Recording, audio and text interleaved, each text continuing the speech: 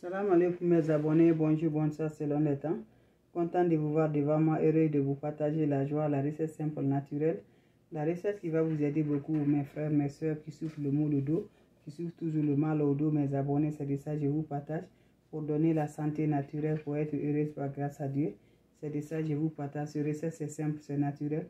Ça nettoie vraiment le dos, ça donne la force au dos. Ça te fait vraiment comme ça se passe. On a besoin de quoi, mes abonnés? Les ingrédients, c'est très simple, c'est retrouvera partout que tu vives. Tu as besoin de quoi, mes abonnés? Tu as besoin de la marmite. Tu cherches la marmite, tu l'as proprement la marmite.